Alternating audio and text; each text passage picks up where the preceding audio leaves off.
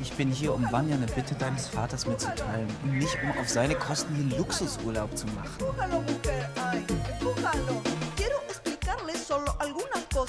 Ich habe die Verantwortung, Manja zu suchen.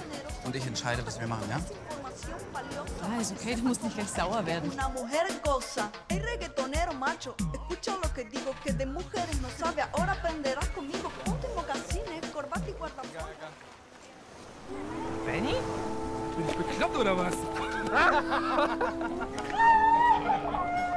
Sag mal, wie viel Geld ist eigentlich auf dem Konto, auf das du Zugriff hast? Ich brauche das Geld für Victor und seine Familie. Ich kann nicht die ganze Zeit über die scheiß Ungerechtigkeit von Wohlstand und Armut lamentieren. Ich muss das einfach machen, verstehst du? Du bist mit Victor und seiner Familie unterwegs, aber für Ignacio ist das einfach eine andere Sicht, weil er halt aus einer extrem armen Familie kommt. Das nennt sich Sextourismus. Er fickt mit dir. Dafür treibst du Geld für ihn auf. Und das ist Sextourismus. Ah, no, no, no, warte, I say no. Ja? Okay, okay, ja, ja, okay.